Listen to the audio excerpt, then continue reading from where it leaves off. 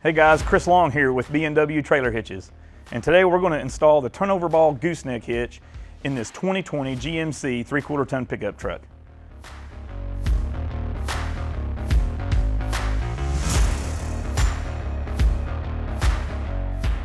Now the correct part number for this particular application is the GNRK 1020. If you need help making sure you've got the right hitch for your particular truck, be sure to use our hitch finder tool on the website and as always, you can also call us at the 1-800 number and we'll be more than happy to help. Now the first couple of steps on this installation is to drop the spare wheel and tire and get the heat shield out of the way so that we've got room to work. Let's get started.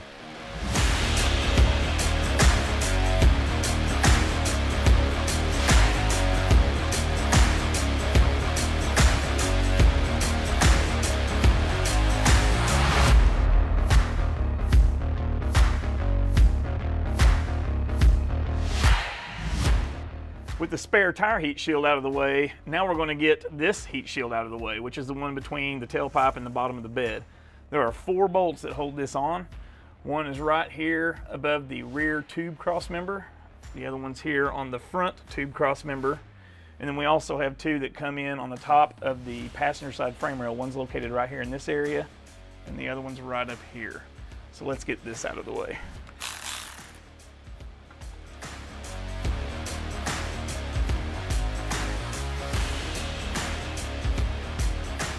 Now we're going to go ahead and remove the three screws that hold the fender well liners in the truck, uh, if your truck is equipped with these, to get them out of the way so that we'll have more access between the frame and the bed in this area for later parts of the install.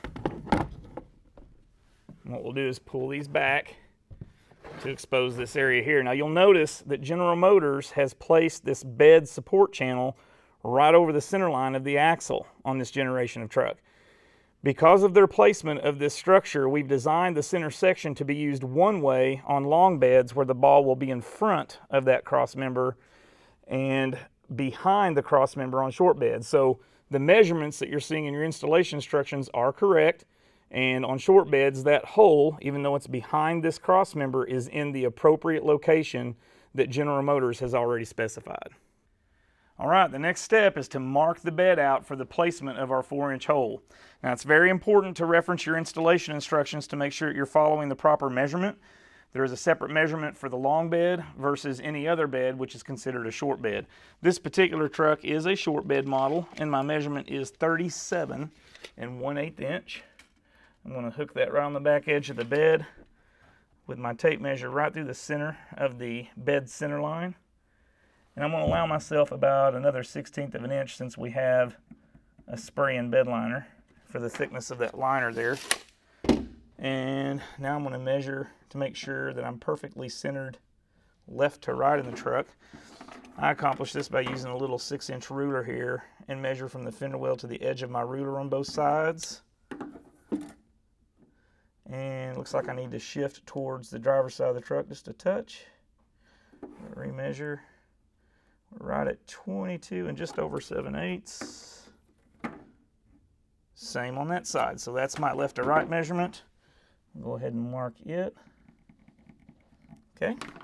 Center punch that spot. And now I'm going to go ahead and drill a very, very small pilot bit since this is a spray-in liner, just so that after I drill my initial hole, I can recheck my measurements to make sure I didn't wander before I go on up to the larger uh, pilot bit size.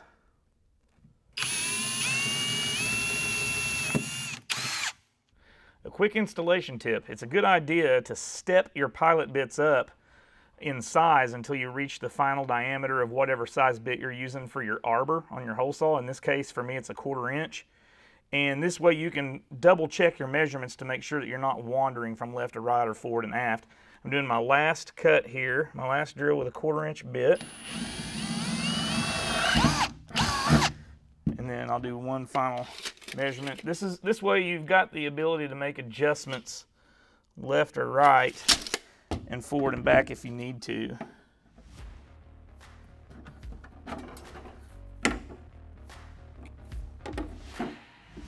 Perfect. We're ready for our four inch hole.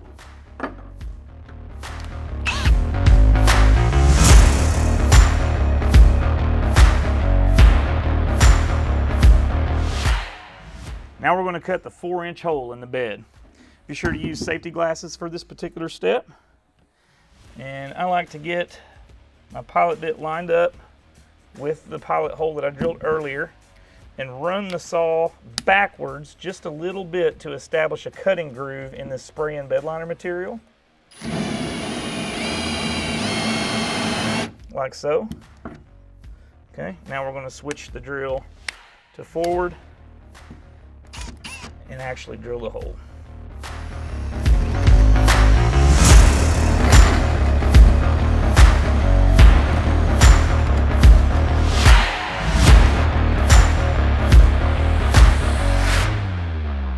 After cutting the hole in the bed, you'll want to make sure and go ahead and eliminate the tail filings that are in that area so that the center section can come up into the hole properly. You can use round files, deburring tools, power tools. Just be sure and get all the tail filings out. And once you're done with that, you can actually go a little bit above and beyond by spraying some clear lacquer or clear enamel paint on that rough edge and that'll protect that from rust and corrosion. I'm gonna go ahead and uh, start filing this now. When you check for deep for burrs, and tail filings with your fingers, don't run your fingers around the hole. Always check uh, from a direct motion like this to find where those are at, otherwise you could cut yourself.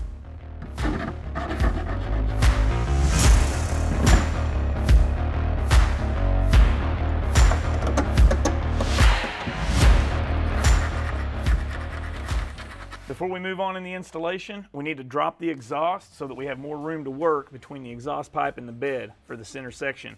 We're going to use a pry tool and some soapy water to remove this exhaust hanger here at the back and these forward two ones right up here and that'll give us the room that we need.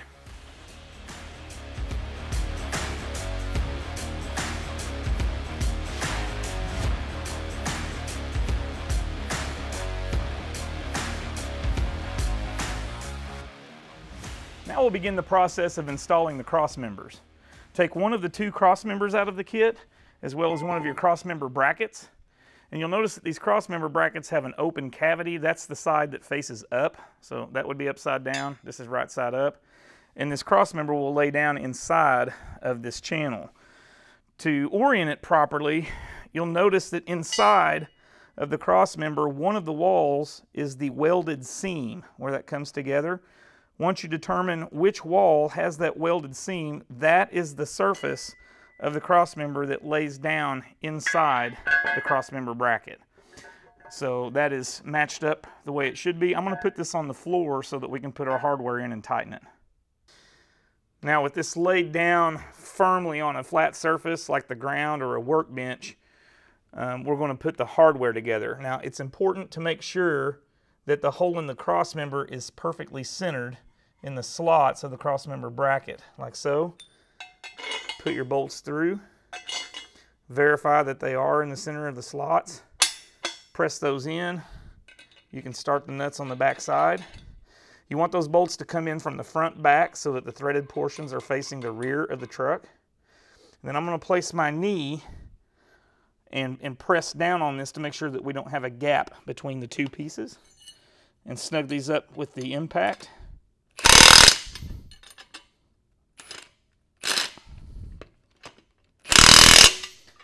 And now we're going to go ahead and torque these to 150 foot-pounds. That's the reason why we're doing this on the floor is to give you a good solid place to put it. We tighten them up now because it'll be hard to do up in the truck because this is where the fuel tank is at.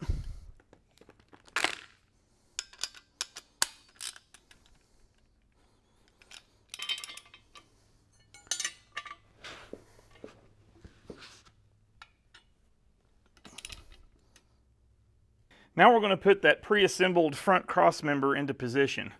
Feed the end without the cross member bracket up over the tailpipe in the top of that shock tower and then position the driver side bracket up over those brake lines and then place it into position on top of the frame right there and then just let the passenger side of this rest on top of the exhaust so that we can get our other bracket on. All right, now you'll get another one of your crossmember brackets, put it up over the top of the tailpipe, and lift the crossmember up high enough that you can get up underneath it, and then right up here, you want to feed that up over the passenger side frame of the truck and then hold that up to where these holes here line up. Now you'll put your bolts in from the front, just like so. And right now you're just going to put the nuts on these and leave them finger tight.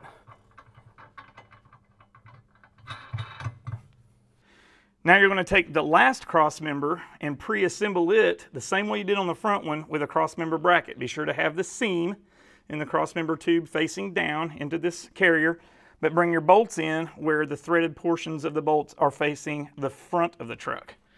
With this pre-assembled, you do not have to have this tightened yet, just have it hand tight. Put it up over the driver's side frame rail, hold this up, and then take your last remaining cross member bracket, put it up into position, and put your bolts in facing the front. You'll put the nuts on there, hand tighten those, and then slide these out of the way for the center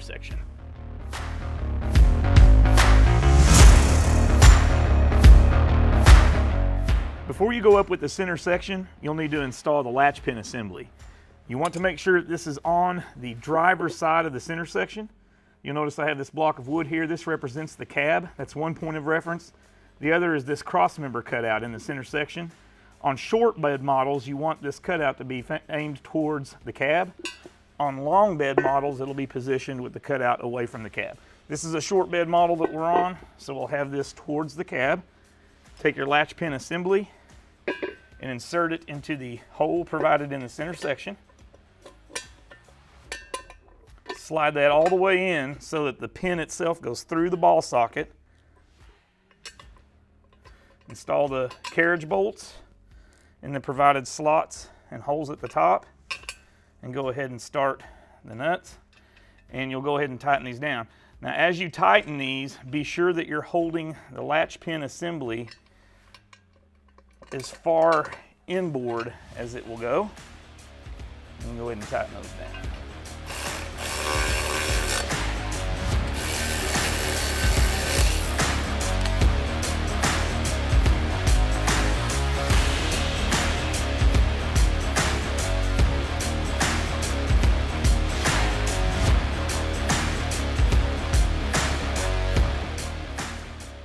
Next, you're going to take the two washer plates in your kit and the remaining four bolts and install those bolts into those plates and go ahead and put the plate with the bolts through the rear cross member. Make sure that the forward edges of those bolts are flush with the forward edge of that cross member. I've already got the front one put together for you here. You'll see what I'm talking about as I bring it in from the front just like so, and then make sure those bolt heads or those the ends of those bolts are flush with that rear face of the bar. That front cross member forward, bring the rear cross member rearward to give us room to go up with the center section. You can see I've got my overhead lifting device into position. Take your center section, again with short bed models. The uh, cutout faces the front to go around your cross member. Long beds would be opposite. Bring this up into position, get it in the hole that you cut in the bed. Be sure your latch pin was open when you go up. Latch it into your overhead lifting device. Now I'm going to pull that up tight from the bed before we move on. With the center section held snug against the bottom of the bed, now we can put our cross members into position. You can now push those bolts all the way through because you don't have to worry about the center section hitting the bolts.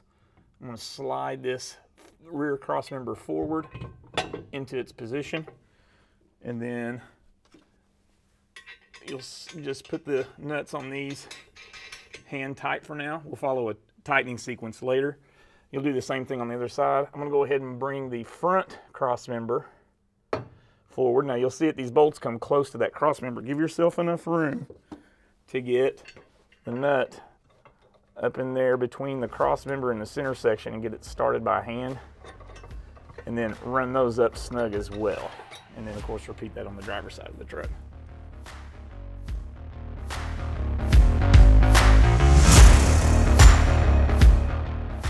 Now, if your truck is equipped with fender well liners, you will have wanted to go ahead and take the three screws out that we mentioned earlier in the video. For this particular shot, we went ahead and took the fender well liner out just so that you could see things better, but it's not necessary to take the liner out. The next step is to put in the, the eight bolts, two per crossmember bracket in through the vertical portions of the crossmember bracket and the provided threaded holes that GM gives you in the frame. You can see I've already done these two here at the driver's side front, and then I'll demonstrate here with the, path, the driver's side rear. Just drop the bolt in. You've got tight quarters to work in here. But just take the bolt, get the end of the bolt lined up with the slot in the crossmember bracket and drop it down into the threaded holes in the frame. Now you may have to shift the hitch around a little bit to get these to thread down into the threads, but they'll thread right down. Be sure they're not cross threaded and you should be able to thread these down by hand to where they look like the ones that right here on the front. Do that at all four corners.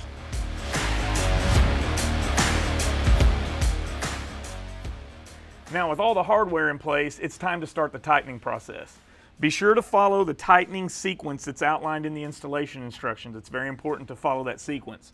The first two steps deal with making sure that the center section is properly centered in the four inch hole that we cut in the bed and that there's an overhead lifting device pulling good pressure of the hitch up against the bottom of the bed. We've already done those two steps. The next step is to tighten our first series of bolts, which are the two bolts that come in through the rear cross member and center section and the front two bolts that come in from the cross members through the center section. And we're going to tighten these down very tight with either power tools or hand tools. You're not going to torque these just yet. We'll torque everything after the, the tightening sequence has been followed. It's just good and tight.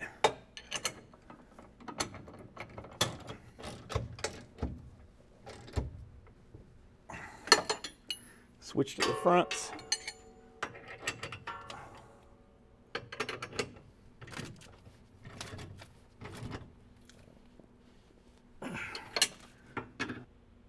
Next, we want to make sure that the hitch is square in the truck before we continue. You can measure from the front cross member to this bed hat channel right here and get a measurement there. You can also take a, a second measurement between that hat channel and the center section here and then compare those measurements on the opposite side, there and there, and get that centered up and squared on the vehicle, and then we can continue the tightening process. The next step in the tightening process is to tighten the bolts that hold the crossmember brackets to the frame. There are eight of them, two at each corner.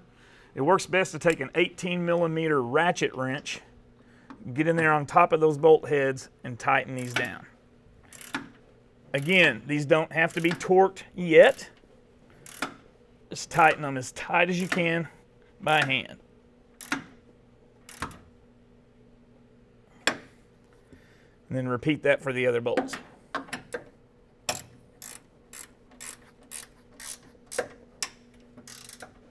The next series of bolts in the tightening procedure are the bolts that hold the cross members and the cross member brackets together. Now, if you'll remember, these two on the driver's side front have already been torqued. We did that when this assembly was on the ground earlier in the, in the process. So that's only going to leave us tightening the two that are on the opposite side of the hitch and then the four that are on the rear cross member. So let's go ahead and tighten these up now.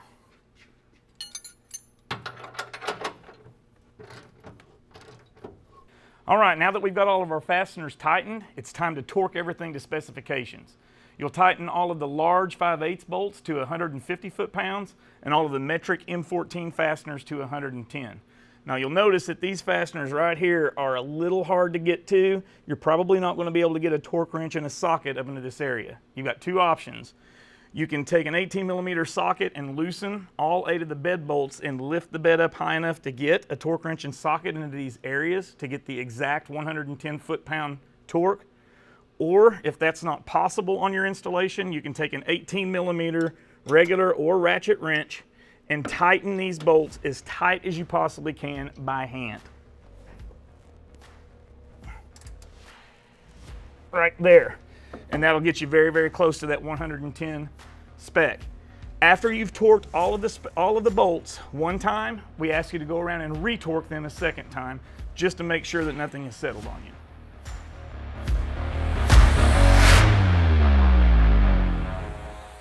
Now we're going to install the latch pin release handle.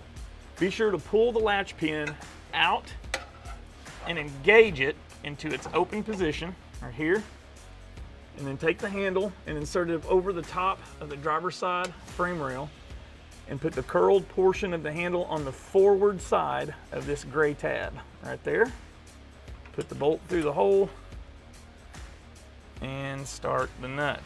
Now just before you tighten this, hold the rod up to where it's just under the bed lip flange out in the fender well, and that'll hold the handle in the proper position.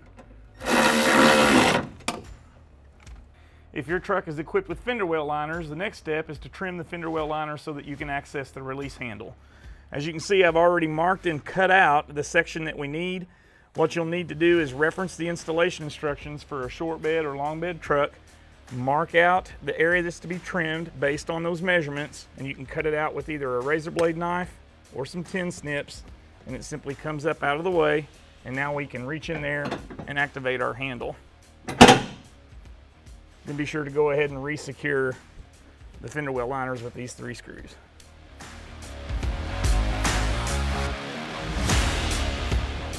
Now we're going to install our safety chain U-bolts.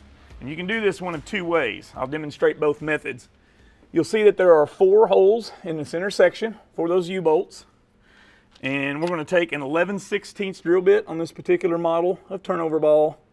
And you can drill that hole from the bottom all the way up through the bed.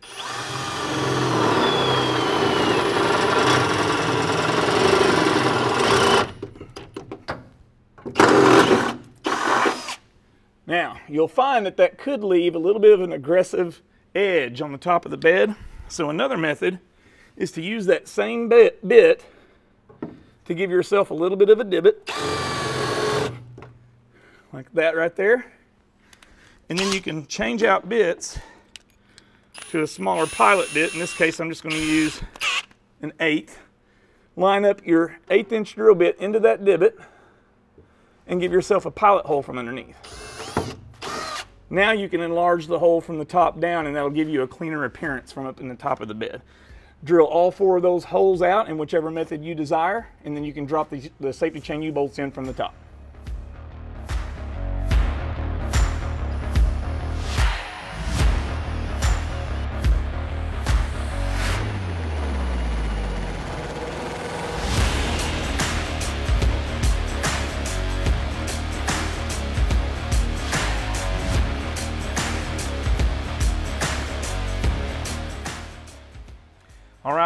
Finished.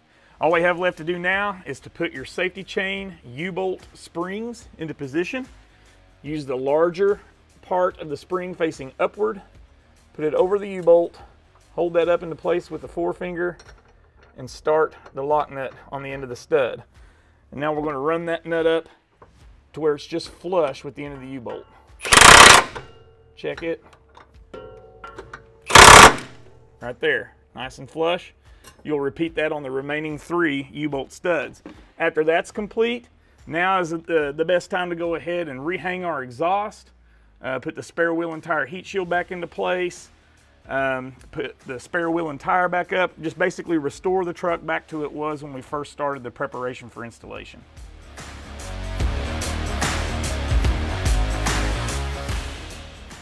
The last step of the installation is to prepare the ball for towing. Take the white lithium grease that we provided you in your owner's pamphlet, squeeze out just a little bit on your forefinger, and lube the four corners of the ball. Get a nice light coat on those four corners. Disengage the latch pin from the driver's side fender well, insert the ball, and engage the latch pin. You're ready to tow a trailer.